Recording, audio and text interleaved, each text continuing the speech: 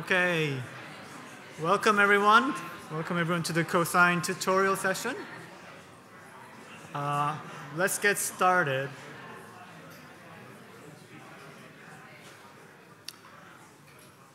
Hello, everyone. My name is Memming. Uh, I'm the tutorial chair.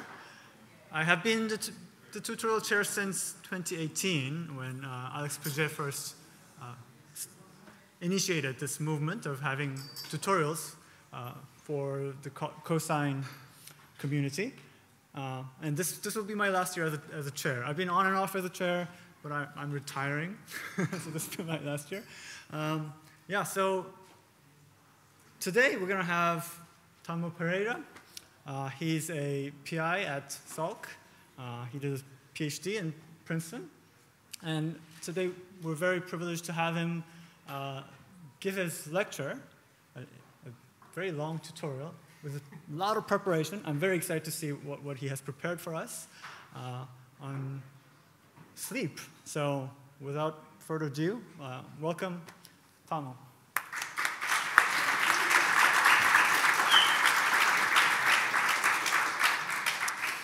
Thank you, Memming, and thanks everyone for uh, coming out and letting us share a little bit about the work that we do with SLEAP uh, to enable automated behavioral quantification using deep learning. So uh, some logistical considerations first.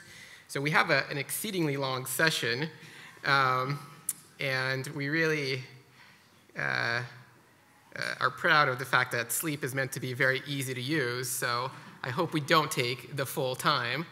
But uh, if you guys want to get started, what we're going to be doing first is um, a lecture. We're going to talk a bit about the history, background, and uh, outlook of this general field. And then we'll transition into just doing a full-time, the full-time tutorial.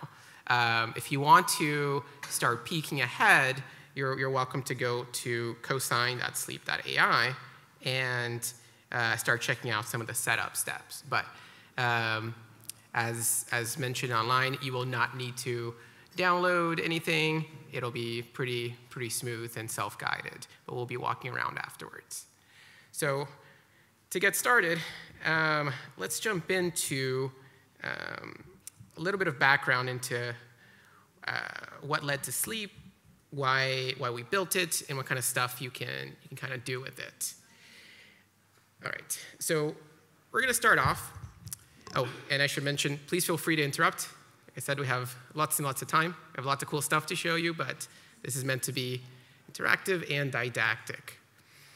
Okay, so we'll start with an observation, which is that life in all its forms evolved the ability to move, whether you're uh, a plant growing through soil, a fly grooming, uh, grooming its head, or a giraffe walking through a savanna.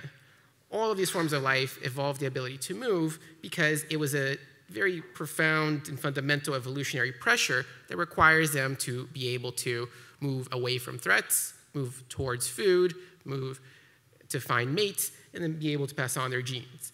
It was such an important core biological function that it ultimately led to the development of the nervous system and even the brain, really reflecting the, the primacy of this function.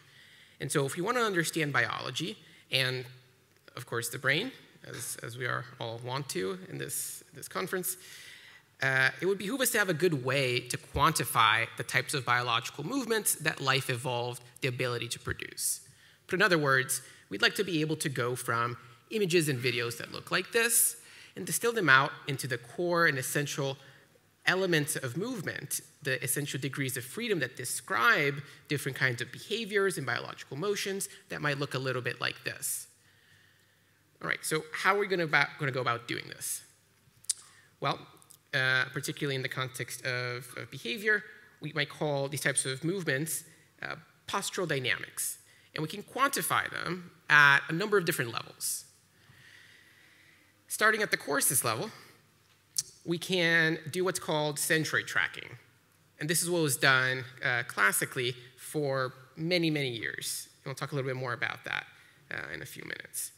And this is a, a, a great way to describe overall movement of an animal within its space. It suffices to describe behaviors like navigation. But for other behaviors, like this fly grooming its head, what you might be able to tell is that it, uh, its centroid, its center of mass, is not moving at all.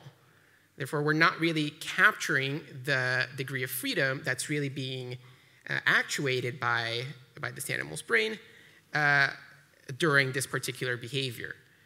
And so to get at these degrees of freedom, we need to go down a further, a further level to what we call single animal pose estimation.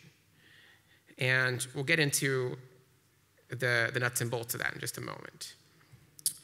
And finally, at an even finer level, where you might want to characterize not just the, the biological movement of a single individual, we might want to actually track the movements of all the body parts of multiple interacting individuals, which introduces a number of additional challenges, both technical and conceptual, in terms of how we actually go about quantifying these types of movements. But this is super essential for the description of a whole major class of behaviors, one that's very uh, near and dear to the, you know, the, the natural pressures that gave rise to the brain in the first place, social behaviors. So if we want to be able to understand all these things, we need to have the kinds of tools and technologies to quantify behavior across all these different levels. And so what my lab does is we uh, try to answer the question of how can we use technologies from the field of deep learning to quantify behavior across all these different levels. All right, so what we'll be talking about today is first a, uh, a primer, a little history on single animal pose estimation and uh, how these types of methods came to be at the, uh, just a few years ago. Then we'll talk about some of our more recent work, uh, namely in, in developing SLEAP for multi-animal pose tracking. And then finally, we'll end with a series of vignettes intended to give you a sense of the versatility utility and types of applications that these types of methods will enable, uh, have enabled and will continue to enable, including a little bit about what's coming, what's coming next. So let's go ahead and jump in and start looking at this uh, single animal pose estimation. All right, so as I mentioned, prior to the deep learning revolution of just a, couple, a few years ago, the state of the art and the main way that we'd go about analyzing behavior if you needed to automate it was essentially to do what's called you know, classical image processing.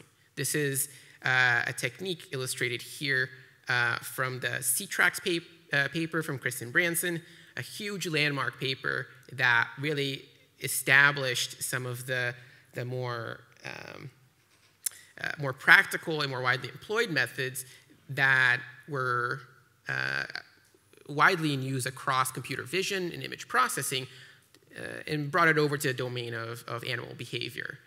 And it, it was really a, a, game changer at the time because it really pulled out all the stops to make this possible. And yet, it still, it still faced a number of different challenges, namely that it relied on doing what's called background subtraction, and it failed to capture limb kinematics.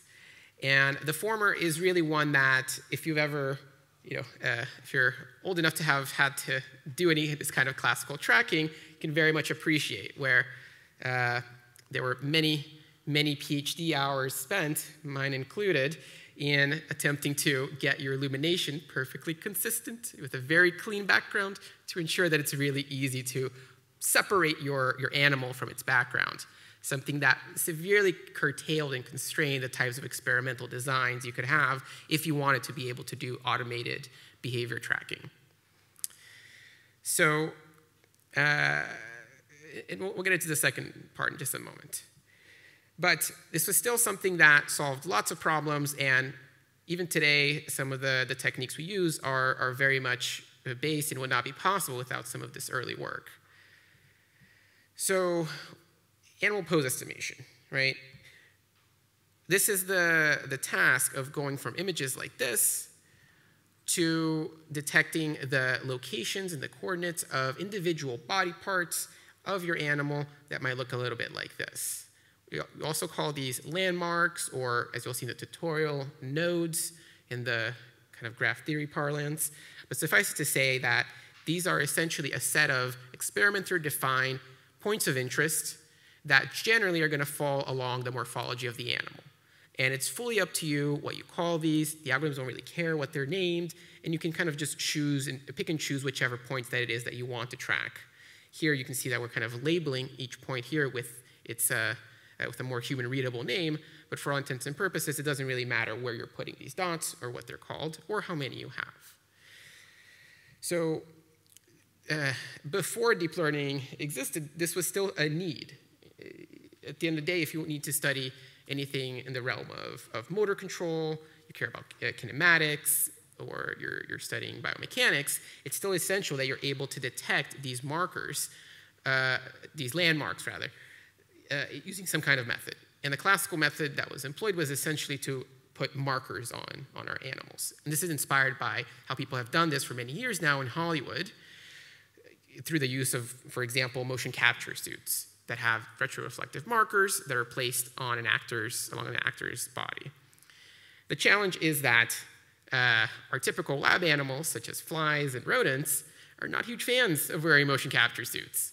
And it ends up being the case that you need pretty sophisticated experimental techniques that, once again, are going to curtail and constrain the types of experimental designs that you can really have, such as this beautiful, awesome paper from Ben de Bivort's lab that came up with a very clever optical setup to be able to track individual legs of, the, of a fruit fly walking on a ball.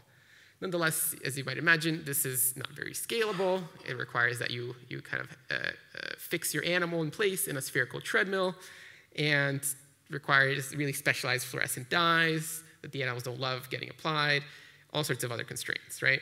So once again, complex hardware and experimental setup, and especially in this case, it can only, it's only really going to work for a single animal. So how do we get around this and finally transition into the era where we can finally free ourselves of these uh, shackles of having to create more contrived experimental setups?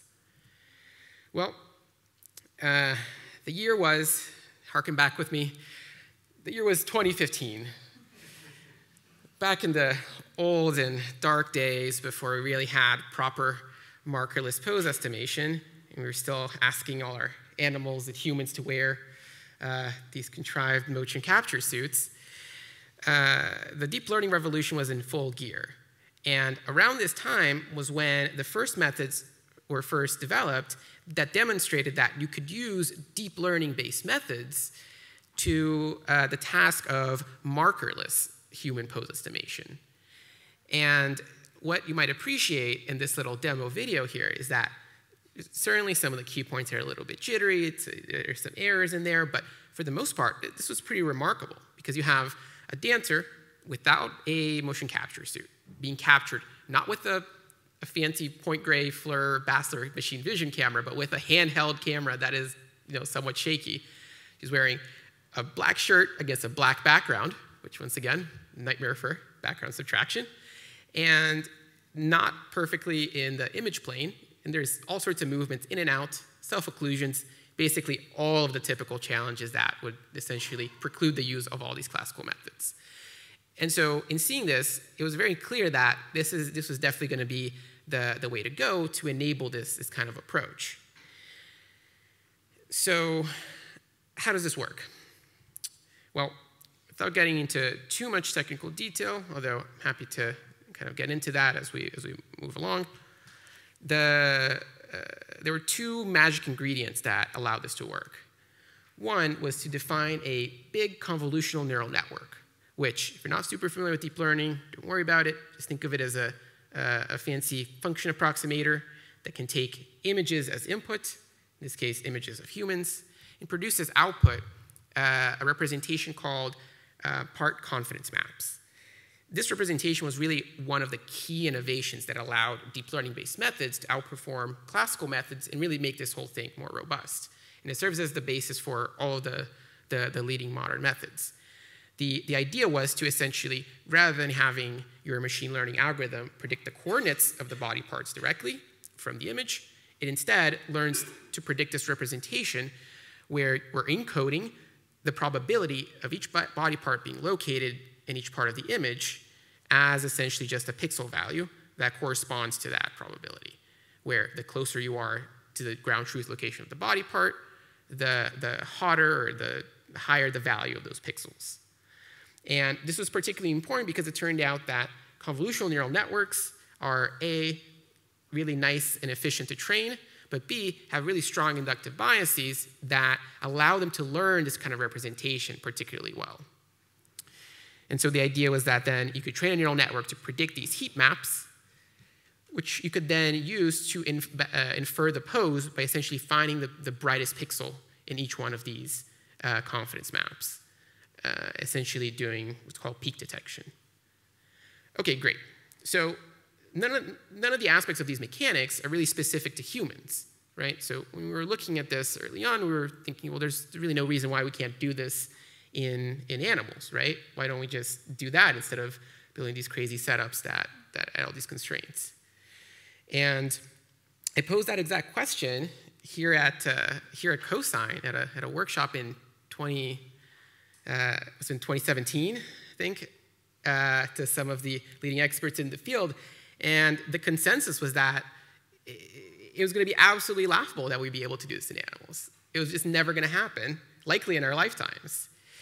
And the reason for that was one that was very principled and that we didn't think was going to be tractable until we, we really tried to solve it. But essentially, the problem was that while all these human, all these methods for human pose estimation worked really well, they relied on the fact that there already existed these massive, massive uh, labeled data sets with hundreds of thousands of labeled images, with millions of individuals, where, where at great expense to industry labs, they had already paid tons and tons of uh, crowdsourced workers to go through and click on the locations, the ground truth locations of all the body parts, of all the people in all of these images, right? Resulting in this tremendous training set. And the, and the uh, common knowledge at the time was that in order for deep learning methods to work, you really do need big data because essentially these models started working because you started making them bigger. You make them bigger, they have more parameters, therefore you need more data. It all kind of made sense, and so as long as you had a sufficiently large data set, especially one like this that requires ground truth labeling, then it, then it would probably work. The challenge obviously was that anytime we have a new animal, a new uh, body configuration, a new experimental setup, a new camera even, we have exactly zero labeled images because none of our lab images look anything like those that were in these uh, pre-existing human data sets.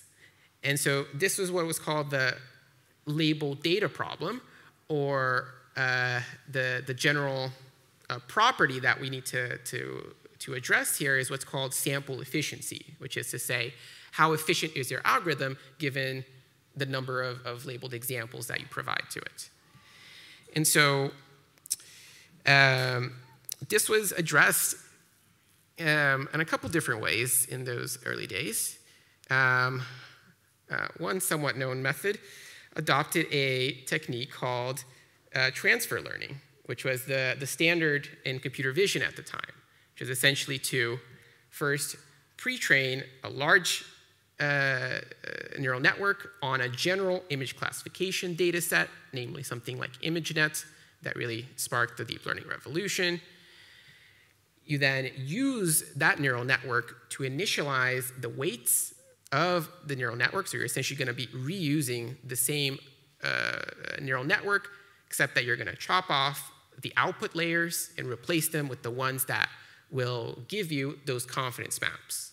Don't worry too much about the technical details, but suffice it to say that then the idea is that you can now, with relatively few labeled images, fine tune those weights because they're already starting off at a point where they're relatively close to the ideal solution because it, was, it had been observed that if you train neural networks on large enough computer vision data sets, they're going to learn a bunch of image feature detectors that already know, uh, regardless of the task, how to detect things like edges and rounded patterns and uh, uh, textures and so forth.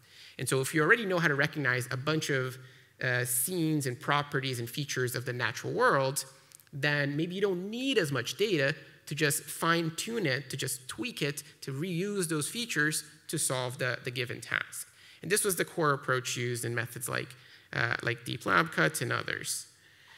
Um, in parallel, um, before uh, that, that method was released, we were also thinking about this problem, and we decided to tackle it in a slightly different way, which was to achieve high sample efficiency through neural network architecture design, where I mentioned that in the case of uh, human pose estimation, all these models use really large convolutional neural networks, as was thought to be necessary at the time to achieve high performance. What we did instead is we developed a method called LEAP. LEAP stands for Leap Estimate Animal Pose. It's a, it's a cute recursive acronym, courtesy of Diego Aldarondo, who was my uh, undergraduate mentee at the time. And the way that LEAP worked was pretty similar to those human pose estimation methods. It took a raw image of our animals as input, fed that in through a convolutional neural network, which then learned to predict a set of part confidence maps that we could use to infer the, the poses or those landmark locations.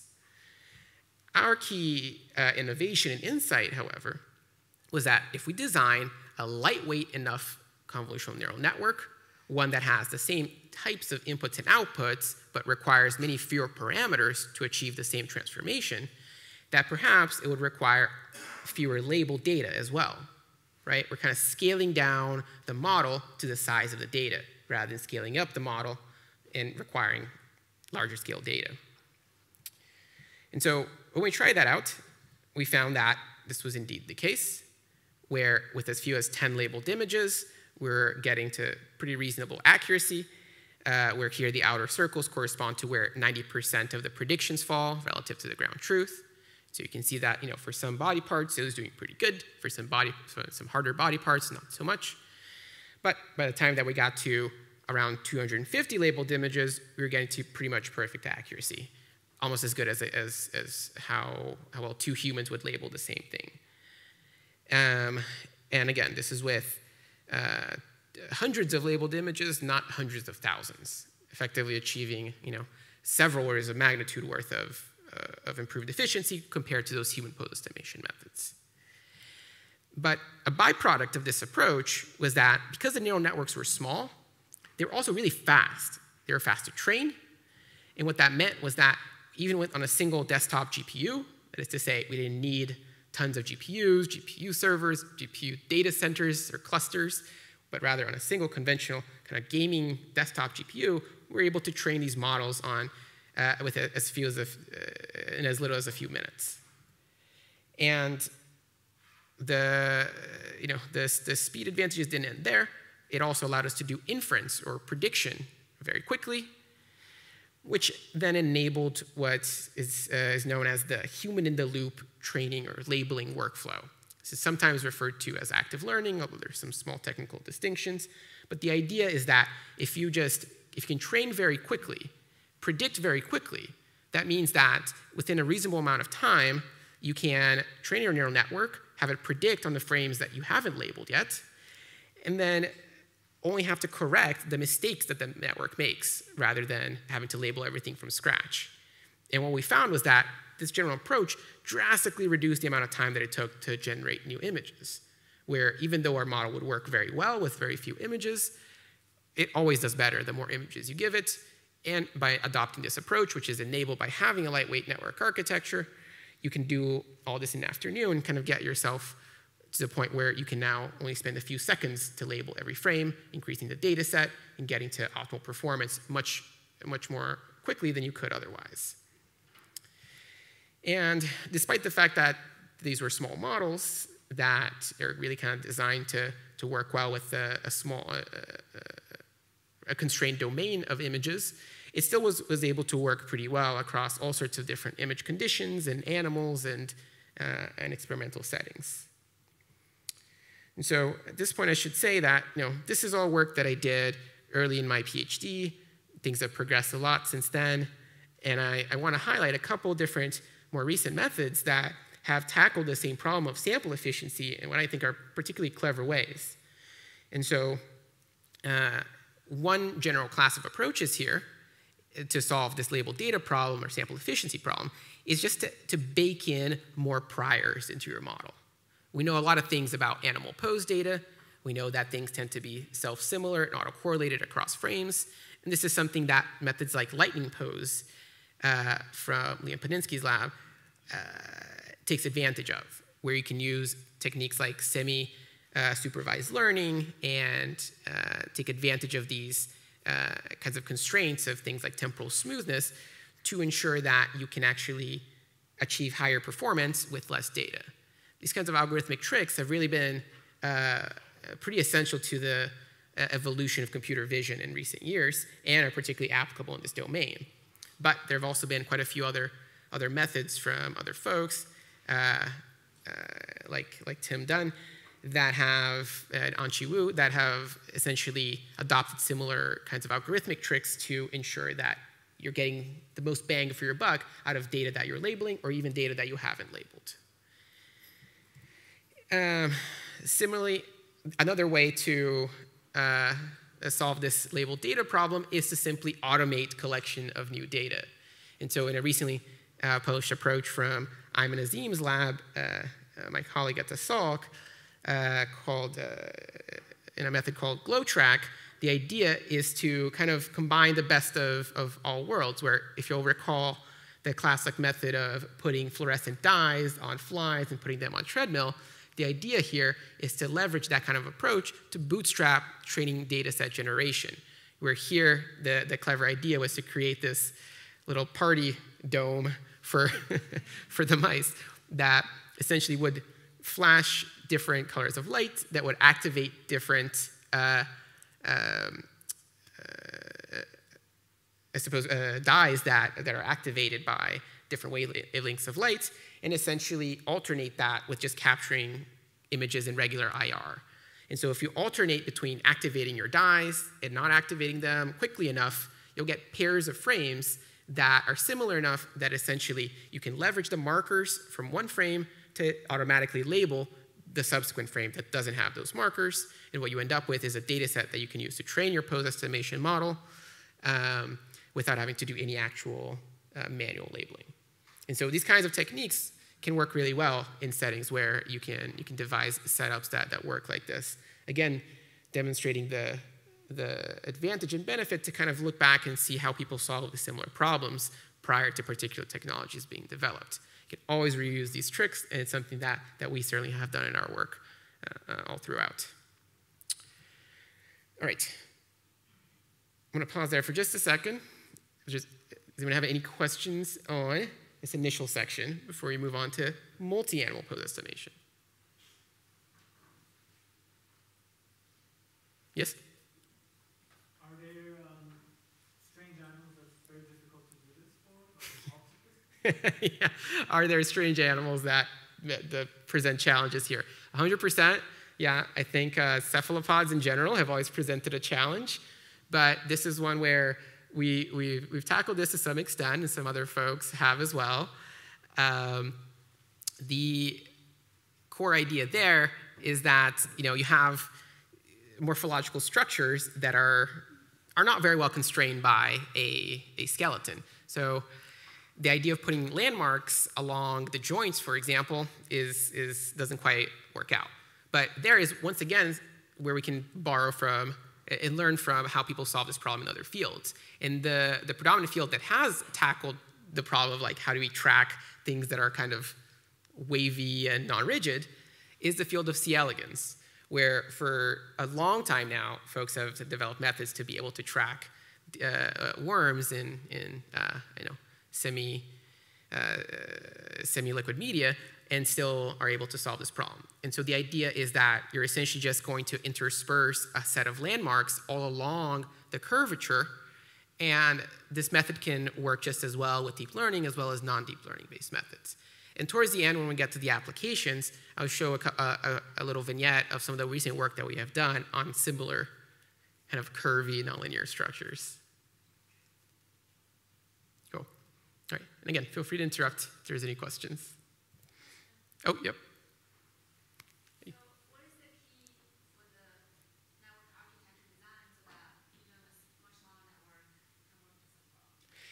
Yeah, that's a good question. So certainly one of the the you know uh, kind of magic features here, both in the both in Leap and the approach that we came up with, as well as in some of these more recent methods, is to always just bake in more inductive biases. More, the more aspects that you have in the network that get you close, there's more, they're more amenable to learning the types of transformations that you need to do in order to solve this core problem, the less data that you're going to need. And so in our case, the, the thing that was essential was to use a fully convolutional neural network, one that, once again, has these really strong um, uh, local spatial biases due to this property of spatial equivariance, which is to say, if you learn how to detect a nose way up here in the image, that nose should look the same if, you're, if, you're, if it's way down here in the image. And so by being able to reuse that filter, regardless of where in the image it might be located, you're buying yourself a lot more parameters because you don't need to learn a new, a new function for a nose that's on the top left of the image and a nose that's on the bottom right of the image. That was one, one magic trick. There are plenty of others, and I think that at the end of the day, um, not enough is known, I think, about neural networks at that really small scale. A lot of the scaling laws and theory that have, has been developed in, uh, since then has really demonstrated that definitely these networks scale very well with data. They're, they're, they're really strongly correlated with, with each other, the size of the data, the size of the models. But what happens in that really small regime is still kind of a, a little bit of, of, a, of a mystery. But we certainly, one thing that, that holds true at all scales is the more priors you have, the less, less data you need. Yep. Yep. Is there a library of like model animals that we can like load and just if it's like C57s and don't have to train anything, if it's Yeah. top? Yeah, that's a great question. Um,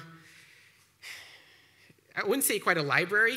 There are a couple of emerging approaches that have been working on doing precisely that.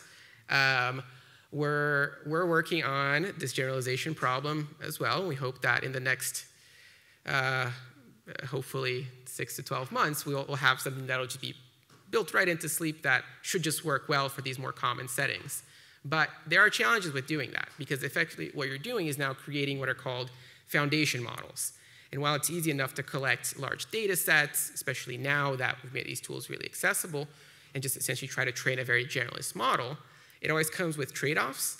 And given the fact that this is, these are scientific applications, we want to be very careful to ensure that the models that we're training are uh, fair in the you know, findable, accessible, uh, interoperable, and reusable sense, reproducible, and that we're not introducing uh, structural biases by virtue of the way that we trained or the data that we collected that might impact downstream science.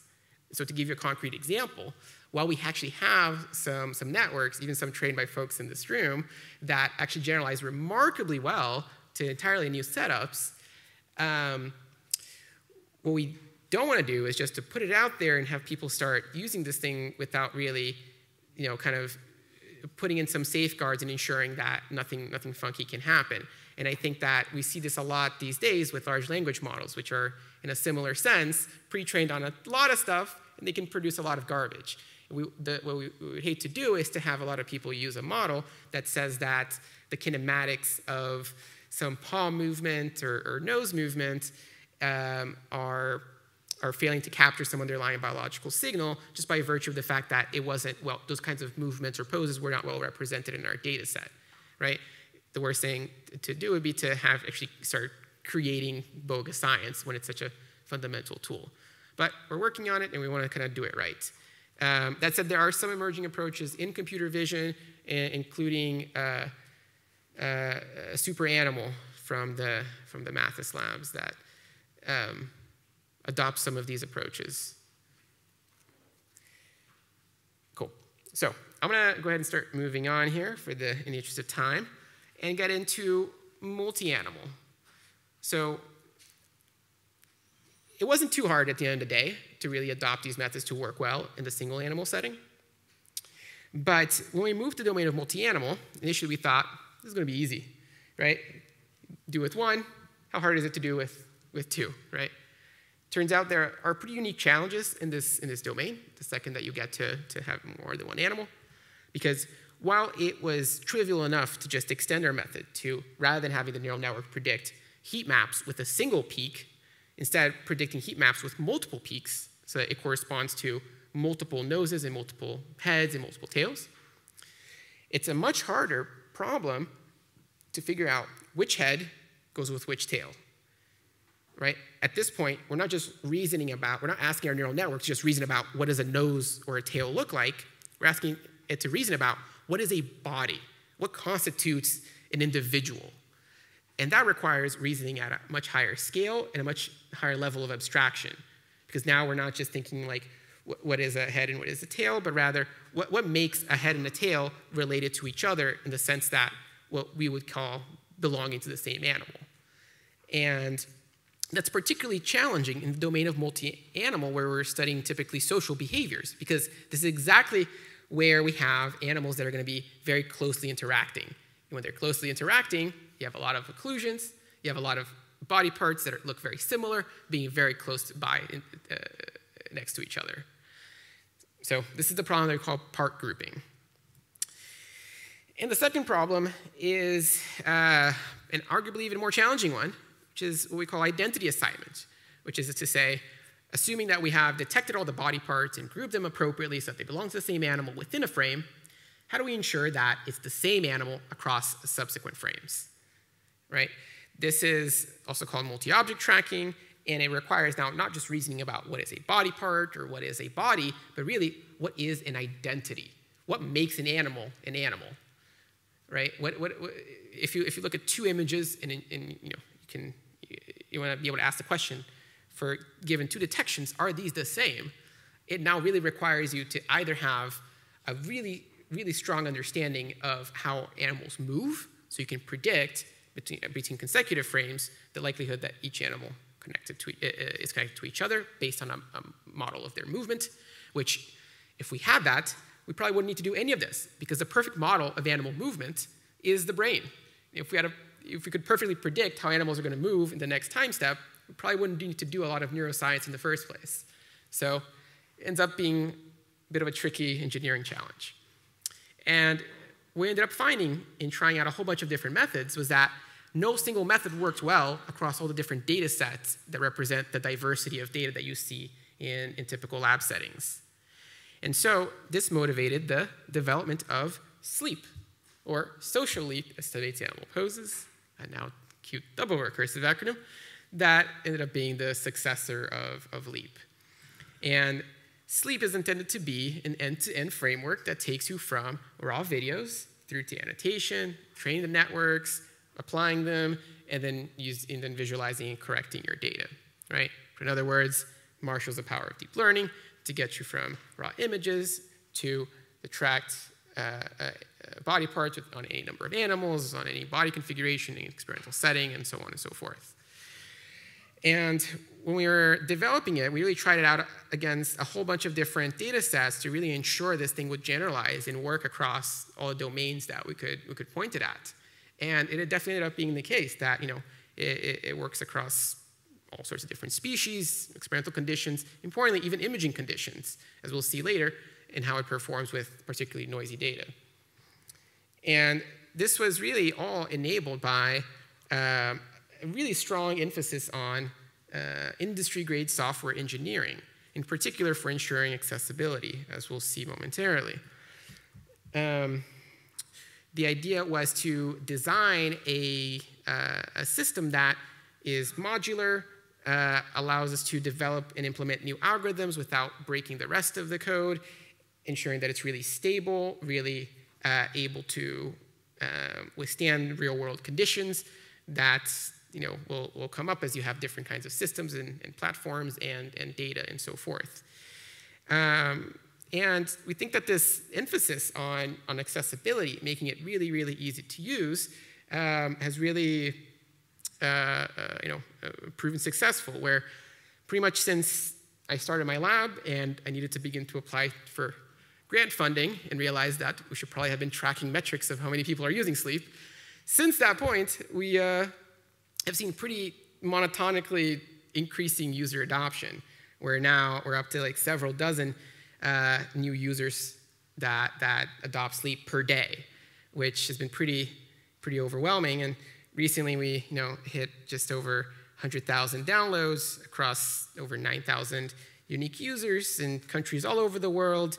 And these users have gotten together and really created a bit of a community through our, our, our GitHub in the form of many, many, many issues that have been posted, both bugs and, and suggestions that I assure you we go through all of them. We just don't have the time to necessarily address all of them as, as adequately as we would like.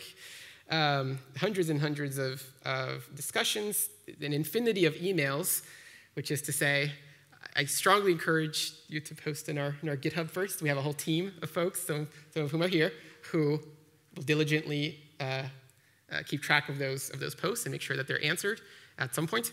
Whereas my inbox is now an endless uh, pit of doom, which may not get responses very quickly, if at all.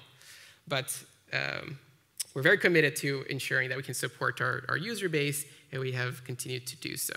But again, this is all bolstered by our philosophy that if we engineer the software well, ideally you shouldn't need to ask a question in the first place. If someone's asking a question, we are, we are going to always assume that there's 10 other people who didn't bother to ask the question, so we should just improve the software itself. I think this is in contrast to how a lot of people view scientific software, that it's just something that, well, we just need higher quantitative literacy. People just need to learn how to code. Yes, fine, sure, they should, but I'm not sure, you know, how much more neuroscience gets done when everyone needs to learn how to troubleshoot how to install their GPU drivers in CUDA and TensorFlow. Some people here seems to have installed CUDA and TensorFlow before, yes. It's a, it's a pain and something that we know how to do well, so why don't we just do it for everyone else, right? There's enough things to learn in neuroscience. I was in a, I was in a fly lab, I had to learn fly brain surgery. I appreciate that neuroscience requires broad skill sets, and that if we all do our part, especially as tool developers, I think the whole field can move forward uh, a little bit more quickly. Okay, so as I said, and as you'll uh, experience, you know, we put a lot of work into all aspects of the SLEAP system.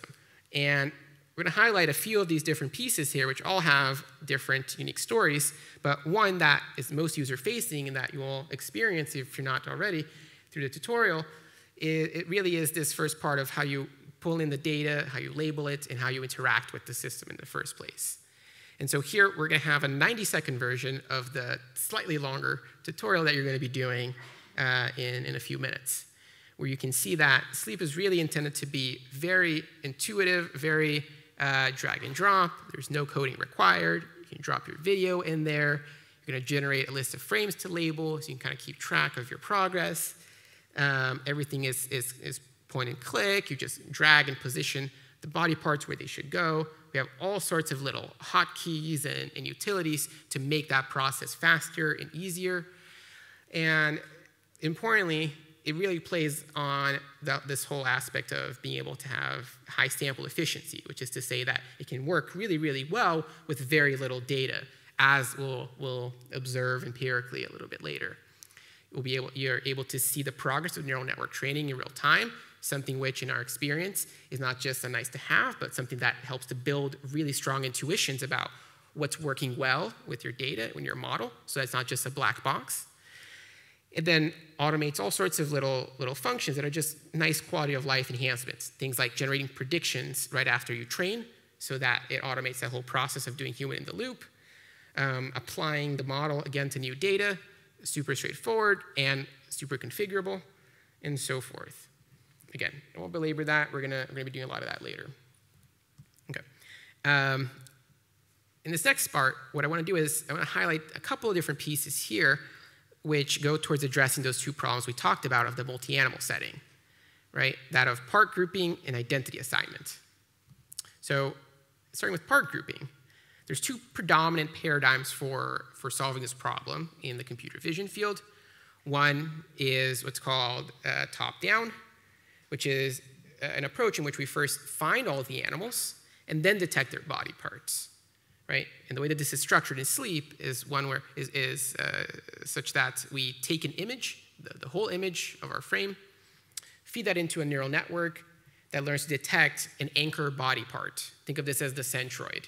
So once again, we're kind of kind of reaching back to, to the uh, uh, annals of animal behavior quantification history and really learning about what worked. And turns out the centroid tracking problem is one that's, that's uh, particularly easy when you're using these neural networks. And so that serves as like a sort of first stage of this approach. We use that to then crop a bounding box around each one of our animals and feed that into a second stage neural network that learns to predict the pose of each one of the animals, even if there is another animal present uh, somewhere in that crop. And the idea here is that this type of model is learning to solve the part grouping problem implicitly, right?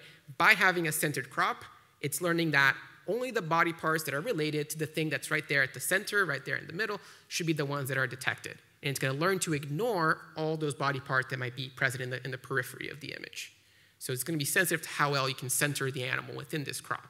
But it works remarkably well, and it's quite fast because it saves you on a lot of processing time. Because Uh, detecting the centroids is really fast and easy. You can do it at low resolution.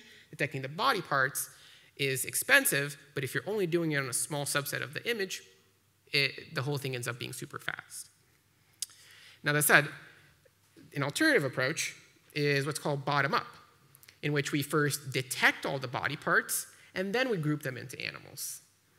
And this works in a slightly different way, where we first take a, the, the, whole image, feed it into a neural network that uh, learns to predict two representations. One is that required for localization, essentially those confidence maps, except that we're going to detect all the body parts of all the animals. which don't know who, which one belongs to who. And then we'll, we'll, we'll learn another representation of the connectivity between those body parts. This is, this is what's called the part affinity field, and it was also originally developed in the human pose estimation field. We adopted it slightly, but it works, the, the general theory works in the same way. The idea is that we're learning to predict a set of arrows all along the body that point along the direction towards the body part that it should be connected, that each body part should be connected to. What we can then do is we can take these, these vector fields, take line integrals across them, and use that to generate these scores, essentially for every pair of body parts that could theoretically be connected to each other. We can score that connection based on the alignment with this connectivity representation.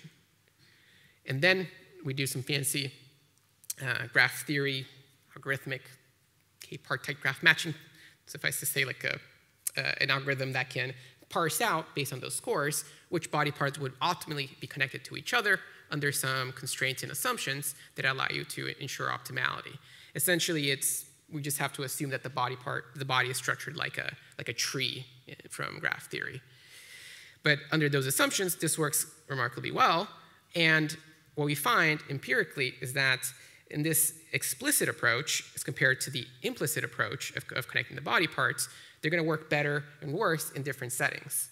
In particular, in some settings, like in, in rodents, we can we will often see a little bit of an improvement when we in accuracy when we use the uh, these uh, uh, part affinity fields, the bottom-up approach, particularly in cases where you have noisier data, where it benefits from requiring your model to learn this sort of higher level structure of connectivity.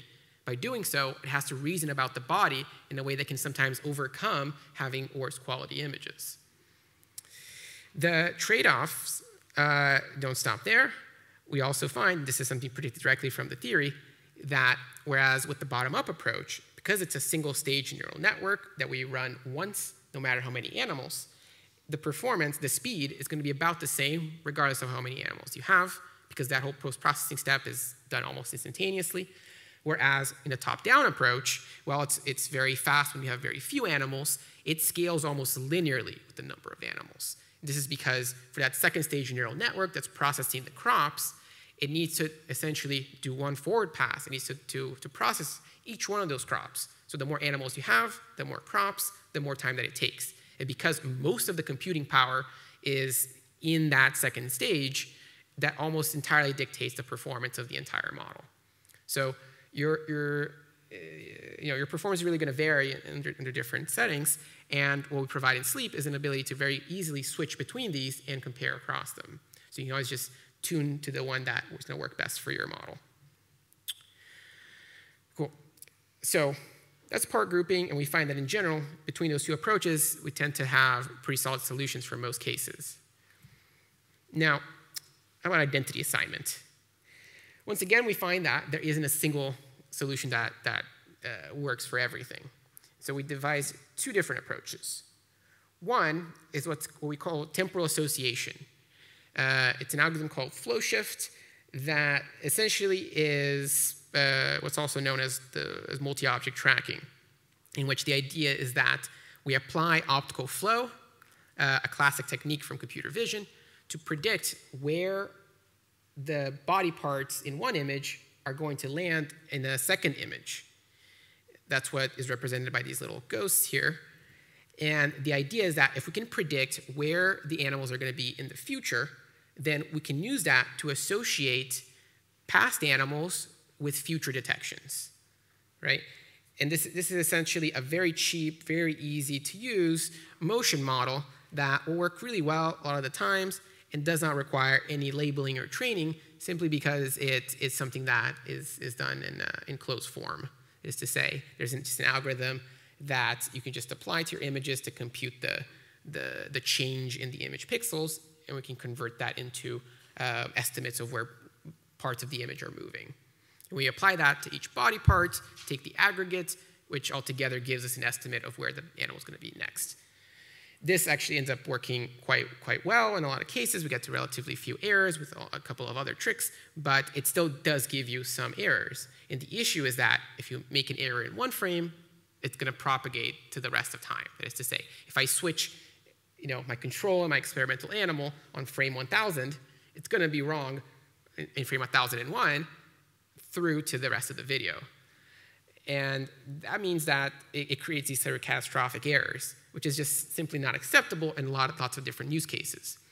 So to address that, we developed a different approach called uh, identification via direct classification, in which the idea is that we are explicitly not considering time at all, but rather we're going to rely on the idea that animals might have slightly distinguishing visual markers, uh, uh visual appearances.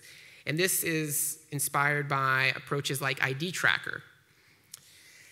And the idea is that here, SLEAP will learn, but uh, it relies on you first identifying each animal as belonging to a different identity class. And we're essentially just classifying each animal as to belonging to each one of these classes, such as male or female, uh, young or old, and so forth. You also apply artificial markers to them to, to basically bias this kind of detection if that's at all feasible. And the advantage is that it does not rely on time at all. So it cannot, by design, propagate errors. And to illustrate exactly what, what we mean by this, here we see that a very common case in which we make these errors in identity tracking is where we also have errors in the pose estimation in the first place.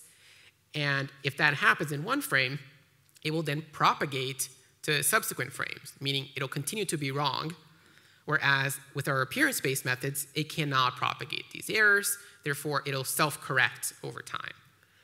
And we apply this to some, uh, uh, some use cases such as um, when we have long-term continuous recordings, such as in this gerbil data set from Dan Sanes's lab at NYU that was recorded for uh, multiple weeks at a time. And when you have that much data, it's just intractable to really go in and manually correct or try to find when switches might have happened when you have this many animals and this many, this many frames. But what you can see here is that, particularly in this case where you have these gerbils, which are arguably the, the cuddliest of rodents, they really like to make these cuddle puddles, or I'm sure there's a more technical term for it. But, you know, whilst adorable, it is a nightmare for, for tracking because they are completely occluding each other. They become this big, indistinguishable blob of, of fur. So, um, what uh, SLEAP is able to do is to track their poses the best that it can, given the limited information that it has when the animals are on top of each other. But as soon as the huddle resolves, they, uh, the identities also resolve. So once the animals are no longer occluding each other, we, are reliably identifying them once again, right? Effectively solving this problem in a, in a more practical sense. Cool.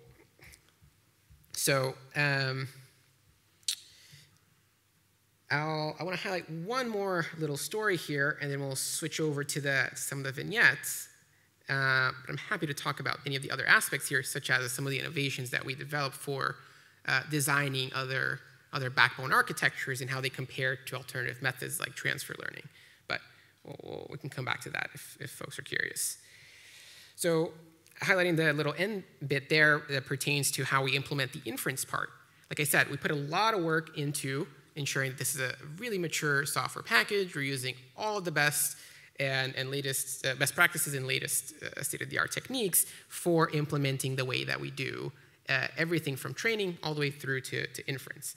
And the main parameter that we really care about when you're, when you're talking about inference is, is the speed. How fast can I process how many images? And this kind of breaks down into two different uh, uh, settings. One is offline tracking, which is to say, I just want to process as much data as possible. I have tons and tons of videos.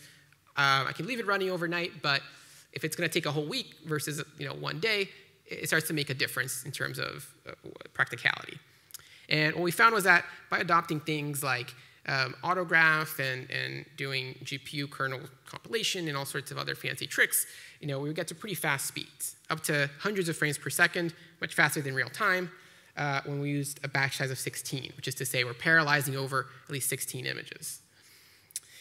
But the more important setting is one that enables new, new functionality, which is real-time tracking, where our goal is not to just process as many images as we can per second, but rather to minimize the latency. In other words, how long does it take for you to predict a new image uh, after you get it out from the camera? And in this setting, we are getting down to just a few, um, uh, as little as a few milliseconds, something like 12 milliseconds, using the same model that we use for offline tracking. That is to say, we use full resolution images, and without sacrificing accuracy at all, we were still able to get something around 12 milliseconds of latency on a pretty high resolution image, where we're essentially in, in, these, in these 12 milliseconds tracking 26 body, detecting 26 body parts, grouping them, and identifying uh, which animal's which. Therefore, making it really you know, pretty close to compatible with real time. Uh, but after we connected with some folks from NVIDIA, we uh, uh, began experimenting with a technology called TensorRT, which drastically speeds up performance in both settings, roughly by, by threefold uh, in either case, by essentially optimizing how the, these neural networks run on the GPU. And what that enabled was a, you know, kind of a proof of principle application here that we call social mind control, which is to say, here we have an experimental setup in which we have a female fruit fly and a male fruit fly engaged in their, in their courtship ritual, where by experimental design, the female would be sexually receptive to the male's approaches. But because we can detect that in real time, what we can do is uh, we can optogenetically activate a set of neurons in the female fly brain that causes her to artificially reject him. So, put in other words, we're detecting the social behavior of one animal, and we're using that to, in real time, control the social behavior response of another animal. Therefore, allowing us to kind of break the, break the whole closed loop of sensory motor transformations that occur in fast time scale social behaviors therefore enabling all sorts of new experimental paradigms where you might imagine, you know, asking questions like, what would happen if a particular neuron or, or a set of neurons were active or inactive during a particular behavioral event in, in the standard in a standard natural behavior uh, sequence. Um, and while this is powerful, TensorRT is a little bit hairy to use. So uh, we did we partnered with folks from uh, uh, uh a software called Bonsai. Uh, Bonsai is a visual programming language, uh, which is developed by Gonçalo Lopes, that um, allows you to create experimental workflows just by dragging and dropping these different nodes that control everything from acquiring images from a camera, doing all sorts of processing on it, saving it out, and now also being able to drop in a node that allows you to run a SLEAP model in real time as part of your experimental workflow uh, which then you can use in this, in this setting to design closed loop stimulation, for example. Cool. So that's, uh, yeah, that's, about, that's about the end of our, our stories here on multi-animal pose tracking. And what I want to end with is some, a set of vignettes on some of the work that my lab has been doing, as well as some other folks have been doing in applying these technologies to enable new kinds of uh, uh, scientific applications and directions, as well as having a little bit of an outlook of where these technologies are going to go, as well as what does this mean for, for, for science, neuroscience, computational neuroscience, and beyond. And we can probably take questions right after and hopefully transition into the, to the break. Cool. So one natural application of this is, is of course, just to scale it way up, right? Spent all this, all this time making, uh, making, making SLEAP faster, so let's just now do it at really large scale. So in collaboration with lots of folks uh, at, at the Salk Institute, also place to set up these kinds of collaborations, we've been developing a system for automated animal phenotyping in a home cage-like setting. And so the idea is that we're, we, have built these setups that are optimized for 24-7 uh, recording of, animal, of, of mice in their home cage that uh, essentially are, have as, as ideal conditions as possible for machine vision applications so that we can fully automate behavior tracking and phenotype extraction. And so that means that we can collect videos that, that look like this. Um, this is our older generation, where we've drastically improved the, the imaging conditions, but this was still good enough to get us started. Uh, we were using these mini cams, courtesy of Daniel Aharoni at UCLA. And the idea was to be able to track many, many mice across these, uh, these cages. We're now in the process of scaling them up to several hundred of these, uh, where the idea is that we can extract from the pose all sorts of different quantitative phenotypes that then can be reused for a variety of different questions, including to tackle the uh, diagnosis and detection of different uh, disease models, ranging from amyotrophic lateral sclerosis, Alzheimer's, and even, even uh, non-neural diseases like, like pancreatic cancer that nonetheless still affect uh, the animal's behavior. So what we end up with is you know, essentially trajectories that look like this, right? We end up getting hundreds and hundreds of hours of, uh, of pose tracking, of movements of every body part of, of the animal in their cage over really long periods of time. So we gotta now figure out a way to make sense of it. And one way to do that is to do the really basic uh, kinds of level of uh, descriptive analyses uh, which you've ever used software like Animaze or, or other kinds of things, it's essentially just, for example, detecting when different body parts are overlapping with each other, with different objects in the environment, allowing us to distill out all, all these poses, all these pose coordinates into uh, time series like you see on the left that correspond to more uh, uh, semantically meaningful signals like whether the animals are feeding or whether they're jumping on top of their of this uh, uh, food cage or around the lid of the, of the, of the cage, or sorry, the rims of the cage that all correspond to more kinds of uh, motor, locomotor activity. But there's a lot more that we can pull out of this. And the challenge is that if we try to visualize here a very small subset of our, one of our pilot data sets, it's a tremendous amount of data. But as you can see, there's all sorts of patterning here. You can tell, you can tell that by all that little striping and all the little bands and all the little blocks and switching and so forth that correspond to surely interesting dynamics that are occurring in terms of the animal's movements. So how can we make sense of this, this really rich, high-dimensional, and very voluminous data? Well, um, in collaboration with some of our friends at, at Harvard and Stanford, we have been uh, applying uh, an algorithm called Keypoint MoSeq from Bob Datta's lab and, and Scott Linderman's um, that works natively and, and, quite well with SLEAP to essentially distill out from large amounts of pose tracking of these continuous trajectories uh, what are called behavioral syllables, essentially discrete clusters or discrete structure that describes uh, times in which you're, you're observing the same or very similar kinds of movement dynamics. And this is done by fitting a probabilistic model that tries to generate the trajectories given uh, a condition that it is in a discrete state. And it can then, in an unsupervised fashion, discover this kind of discrete structure directly from the data by just attempting to reproduce it. And we apply this to some of our pilot data of that where we're capturing the phenoconversion, essentially the transition into the um, overt disease state of ALS. ALS is a, uh, a motor neuron disease that leads to progressive loss of motor function and eventually death. And so the idea was that, well, let's just do it for a very first pass analysis. Let's look at the histogram, the change in how much each syllable is used late into the disease, where we know that there are, there's motor dysfunction happening, versus early in the disease, where the animals appear somewhat normal. And if we look at all the syllables, I mean, they all just have numbers, and we can you know, try to inspect them, but the idea here is that by doing this kind of differential analysis, what we can discover are the syllables that occur more in late uh, ALS versus the ones that occur less, thereby serving as a sort of behavioral biomarker but we can look at these guys individually to kind of sanity check that it's pulling out structure that's, that's meaningful. And for example, one of these syllables that tend to occur a lot less late into the disease is this climbing-like signature, uh, this uh, syllable. And this is totally something that we'd expect to happen in a motor neuron disease where the animals progressively lose their ability to coordinate their, their body. They're not going to be able to do this kind of climbing anymore.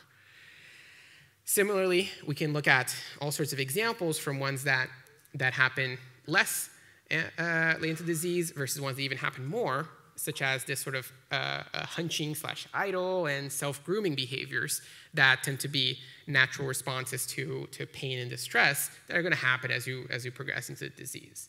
So this is all just preliminary data that are sort of a, a sanity check that this, this general pipeline uh, can work. And what we're doing now is scaling this way up, adding lots more animals, months and months of data and uh, uh, trying to build out the entire behavioral repertoire that describes the progression before phenoconversion, or at least what is clinically known as phenoconversion, into the more overt parts of the disease, with the ultimate objective of being able to detect very slight movement patterns that can predict the eventual occurrence of the disease before it gets too overt. And this is something that just would not have been possible without these kinds of tools that allow us to automatically look for patterns that perhaps for a, a human observer, even a clinician, might be somewhat idiosyncratic. It might be that at the end of the day, it's just that you're doing something a little bit less, maybe even 10% less or 5% less, and not that you have, say, a full on tremor or, or, inability to uh, perform an activity of daily living. And so uh, we'll, be doing a lot more work and, and, and talking more ab- about this in the coming uh, months and years, but we're super excited that this general approach can work for this setting. And I wanted to highlight uh, a recently published uh, uh, preprint from my colleague Ishmail Abdus-Saboor at Columbia, who also has collaborated with, uh, uh, with Bob to apply SLEAP to an entirely new model system for neuroscience, that of the, the naked mole rat. And what they've been doing in this, in this early work is applying SLEAP to do the pose tracking in an entirely different species that we certainly had never you know, previously looked at, uh, throwing that into Keypoint MoSeq and characterizing the behavioral repertoire that distinguishes different classes of, of uh, members of, of these naked mole rat colonies, namely the, the queen versus the workers, giving some insight into how uh, the uh, epigenetic and other changes that occur as they take on those roles uh, get manifested into, in terms of their behavioral repertoire. And finally, I just want to mention that one of the other, I mean, if that's out there, one that we're particularly excited about is to now apply this to, to look at behavior in space, uh, where we recently received a, a grant from NASA to essentially characterize the phenotypes of mice in the International Space Station to study the effects of long term space travel, exposure to radiation, and exposure to low gravity. Uh, once again, kind of attempting to just try to highlight the versatility and generalizability of this approach to different kinds of settings. And we're super excited about this. It's going to be a very difficult data set to track, but we'll, yeah, we'll, we'll, we'll try. um, but ultimately, this is uh, to enable uh, technology to be able to do this kind of motion capture and, and video-based phenotyping, even for uh, astronauts, for, for human crew, in the context of uh, deep space travel. So for example, if you're an astronaut going to Mars, it's a, it's a nine-month trip, so it's gonna, you probably wanna be able to pick up as early as you can whether or not somebody's developing a, a neurodegenerative, particularly a psychiatric disease, uh, uh, ideally from their, from their overall body language. But we're really not limited to animals with this kind of technology. I mean, as we showed, we, we uh, were inspired by a lot of these, techni these techniques that were developed in humans, and we applied it to animals, but why not plants? So we, uh, you know, we made this naturally, right? Um, we, you know, we made SLEAP open source, we made it easy to use, and as a consequence, not only have we had lots of users, we had lots of very diverse users. So we were actually contacted kind of out of the blue by some, some folks who are, are plant bio, biophysicists who are really interested in looking at plant motion. And without really doing any kind of algorithmic work, but really just kind of exploring the parameter space that SLEAP already allows you uh, to just to, to configure to work better in your own data, we, we worked with them to adapt it to work well on time-lapse data of all sorts of different plants in a, in a, across a variety of different settings. And so you can see that you're able to pull out the dynamics underlying all sorts of different kinds of plants, plant movements captured in these very long timescale uh, time-lapse data, which here look a little bit more natural. But the principle is the same. And in going back to Memming's questions about, well, what do you do about structures that aren't well constrained by, by a skeleton? This is one, one of these settings in which we had to begin to tackle that problem. So this is also the first time that we attempted to uh, come up with uh, labeling schemes that would allow us to, to track these more curvy structures, though there's still more work to be done there. But once I started my lab at the Salk, it was a very natural extension of this work to apply it uh, to uh, work with the Salk Harnessing Plants Initiative, where this is a multi-lab collaboration of which we are a part of that is attempting to curb climate change by uh, uh, engineering and, and selecting for crop plants that have deeper roots, more roots, and roots that produce more carbon-rich polymers like suberin, which is the core constituent of, of cork. All of these are essentially things that are, that are controlled by different biological processes that all have the, the consequence of pulling more CO2 out of the atmosphere and sequestering it into the soil just by driving additional root growth. And if we focus on doing this in crop species, we have the natural, uh, uh, we have a natural mechanism for scaling this through the global agricultural system, right? Just ship seeds out that automatically have enhanced carbon sequestration capabilities. And this is an effort I'm particularly excited to contribute to. But while they've had, you know, they have amazing world-class uh, plant biologists and geneticists at the Salk, one of the things that they were missing was uh, a way to do high throughput phenotyping, which is essential for doing things like genome-wide association studies and other kinds of ways to discover the genetic basis of, of root growth. And so, uh, working with Wolfgang Busch's lab at Salk, we've, been, uh, we've developed a system to apply uh, SLEAP to the problem of phenotyping plant root system architectures, where the idea is to track all the roots, in this case in these cylindrical planters. So here we're not tracking things over time, but rather over just different viewpoints. And extracting all sorts of, uh, of traits that describe this, this morphology that then allows us to classify them as whether they have more or less carbon sequestration capabilities.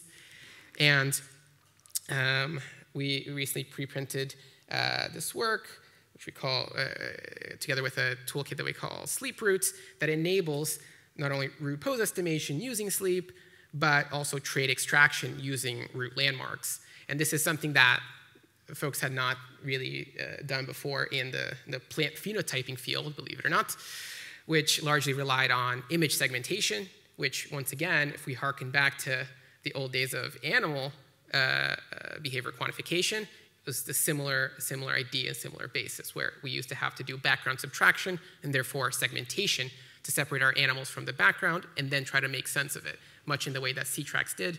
This is still largely how lots of folks do uh, plant root phenotyping.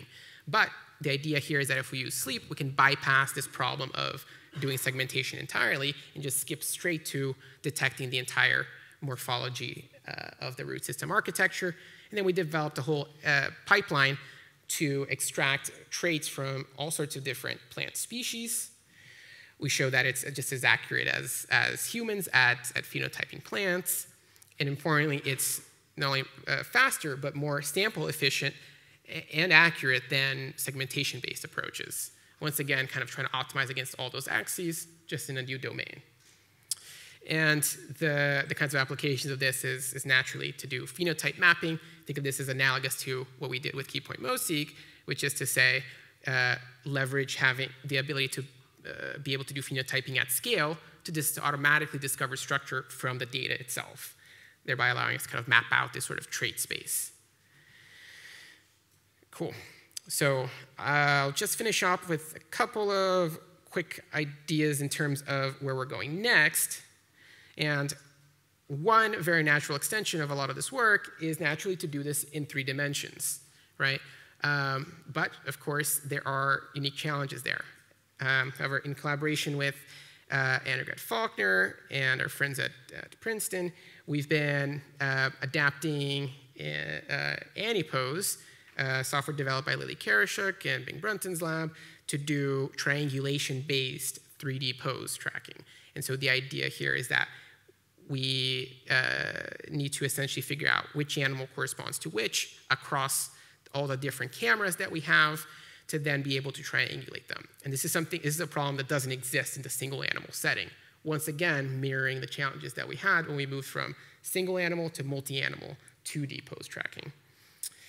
But the idea is that once again, once we're able to solve that association problem, and we'll, we'll, we'll be hopefully publishing some of our, our early work on this in the coming months, we're able to then take multiple viewpoints that have SLEAP tracking and use that to triangulate uh, the body parts of multiple interacting animals, finally getting us to the, uh, one of the most complete representations of body kinematics in the context of social behavior, and once again, removing barriers to, to more clever experimental designs where given that we can do 3D pose, we can create more naturalistic environments and environments with more uh, variation in terms of the, the 3D structure of the environment. And um, one of the application cases that we've had for this, this kind of approach is to uh, study uh, naturalistic human behavior, where in collaboration with the LA County Museum of Art and Tom Albright at Salk, uh, we received funding from the NSF to uh, characterize how human behavior in a museum exhibit can be used to predict how they engage with different parts of the, the exhibit and, and, and behave in, in their different settings. And so once again, we went there and just basically, you know, we looked at it and it seemed like it was essentially the same problem, right? Just, just got to scale it up. So we printed the, the world's most expensive ChArUco board. Um, that was just massive to be able to calibrate a whole bunch of different cameras, a whole camera array that was laid out all around this, this museum exhibit room. Uh, we've, we, we, went down and uh, captured images that allow us to reconstruct what the different uh, pieces look like using uh, techniques from computer vision like uh, neural radiance fields or NeRFs and then applied our triangulation-based approach to do essentially what we were doing with the animals, which is to, to reconstruct their 3D poses from having multiple viewpoints. But where this gets really fun is where, you know, now we can, by combining our environment reconstruction with our 3D motion capture, we can essentially retarget the camera and re-render what the viewpoint would have been like for each person in this exhibit as they navigate around the exhibit therefore giving us the ability to place a virtual camera on participants' heads without their, their knowledge. To be clear, they're very much informed that they're being filmed. Uh, there is a QR code at the entrance of the exhibit where they can learn all about the study. Uh, to our knowledge, not very many people have scanned that QR code, but it's, it's there. And for what it's worth, we've been told repeatedly by the IRB that people are already uh, being filmed all the time while they're in a museum for security purposes. So seems like fair game. Okay, and then for our very last piece here, and I won't belabor this point, but now that you've learned all about the amazing and wondrous things that you can do with key point tracking, we now have to acknowledge the fact that at the end of the day, the brain does not control key points. This is fundamentally the incorrect representation to characterize behavior if we really want to understand the brain, right? Whether we're, you know, even if we're doing all sorts of unsupervised behavioral quantification on top of the key points, ultimately the brain is not sending signals down the spinal cord to actuate key points. It is actuating the body. And the body is one thing that we've been very blissfully ignoring for decades, for centuries now in neuroscience. But it is, at the end of the day, the, the last and very important missing step if we really want to understand the full loop between environment and, and, and neural processing. And this gets us to the, the most exciting direction of, of my, my research program. This is something that uh, I'm super excited to, to get into once I started my, my independent lab. And we've been uh, get, attempting to get off the ground over the past uh, year and a half or so with a really amazing uh, group of folks um, uh, from everywhere from, from Harvard and Stanford and Salk and Columbia and UW and Stanford and all sorts of other places where the idea is to combine what is certainly going to be very heavily featured all around this conference, this, this, new, this new field of neuro AI, of using uh, uh, you know, neural networks to model the brain itself, and combining that with what is enabled by this kind of technologies like motion capture, which is to do uh, physics-based simulation of animal bodies, right? And so the idea here is that, you know, while neuro AI kind of finally brings to uh, the forefront the, the promise of classical works from folks like Fukushima, who originally were inspired by network uh, by brain architectures and the way they were developing the mathematics underlying neural networks or artificial neural networks, to now you know uh, seeing how the work from you know folks like Dan Yamins and Jim DiCarlo uh, that have demonstrated that deep neural networks are actually quite good models of the brain. We're now kind of combining that with what these technologies for measuring behavior give us, which is the ability to uh, uh, retarget biomechanically realistic bodies constrained by real behavior. In other words, we're going to do the same thing that people do in Hollywood with the motion capture suits. We're going to recreate uh, real movements, not of actors, but rather of animals. And then we're going to try to simulate how can we get a virtual brain to produce virtual behavior that looks as much as possible like real behavior. And we call this framework the Virtual neural Neurolab, and the idea is to essentially create a repertoire of a whole bunch of different virtual animals with different virtual brains that are constrained by real data, and that subsequently uh, allow you to do virtual experimentation, virtual neuroscience. Activate neurons in the context of behavior, record from neurons in the context of behavior, modify aspects of the environment and see how that changes neural activity, and so forth. And importantly, by making this possible using deep learning, what we're able to do is to always be able to error correct. If, we, if ever our models make wrong predictions, there's nothing fundamental about it that precludes us from being able to refine the model with new experimental data. So we'll record in, in one part of the brain uh, where we made predictions about what kind of neural activity was happening there. And then if we were wrong, we can now fine tune the network to ensure that that part of the brain now produces the correct neural activity under the same behavioral conditions as the real animal did, and then move on to the next part of the brain until naturally we solve the whole brain, right? Should, should be easy. And um, if, you're, if you're curious about this, some of our uh, preliminary work is going to be on display uh, here at the conference, um, poster 3 109 on Saturday by Eric Leonardis, in which we've been kind of characterizing some of the, the parameters of the system, namely in trying to understand how the, the properties of the underlying biomechanical models affect the, the neural representations and, and uh, behavior of our virtual animals. In other words, just how some of the, the early work in neuro AI has been characterizing what are the elements that are essential for training uh, artificial neural networks that look like real brain, that can predict activities of real brains, we're doing the same thing now with what properties of bodies and biomechanics are necessary to get us to, like, once again, learn representations that are realistic that real brains are, are, are controlling. And our strong hypothesis is, going back to the whole motivation from our first slide, is that given the fact that brains evolved expressly because of the need to move, that if we're now modeling the brain with a realistic output space, the output space that brains evolved to control, muscles and bodies, that we're now going to be imposing a much stronger inductive bias to ensure that the representations that we learn are more likely to be realistic and more likely to advance our understanding of the brain by, uh, uh, by being more faithful to the, the mechanisms that gave rise to it. Okay, that's the end. Uh, we're right up at our, at our break time here. So I just want to say thanks to everyone. Thank you for listening. Especially want to thank the folks in my lab, the, the especially Liezl Maree, our software engineer uh, extraordinaire and head engineer of SLEAP. She's put a lot of hours over the past couple of weeks in making the tutorial possible, so we're really excited to share that with you guys.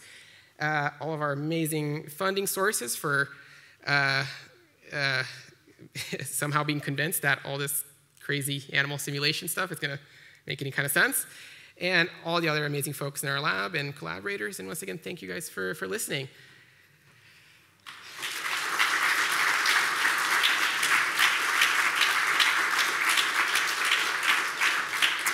Awesome. Okay, so um, that was fun. Uh, we uh, are going to transition to our tutorial part of the session now. So we have uh, another 10, 15 minutes of break. And when we come back, we're going to get started with our tutorial. So around 215, 220, I'll just introduce how the general tutorial is going to flow. But for the most part, it's going to be pretty self-guided. Um, and we'll be walking around to help people. But feel free to, to catch me if you have any questions. Thanks, guys.